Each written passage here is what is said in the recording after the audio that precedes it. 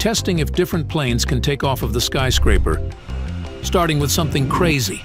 Here's the Ho 229.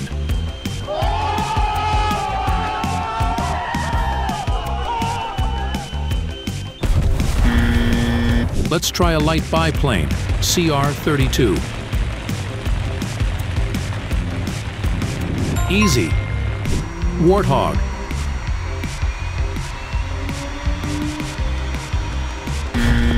It's too heavy. And now the Su-27, because it has insane thrust.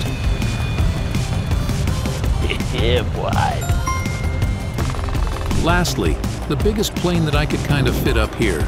Here's the huge Tu-4.